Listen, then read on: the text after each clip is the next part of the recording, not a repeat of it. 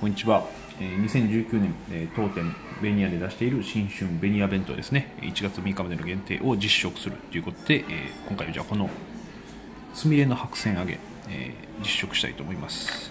ですね。あ、綺麗ですね。ですね。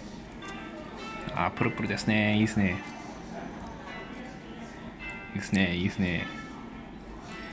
みずみずしいですね。じゃあいただきます。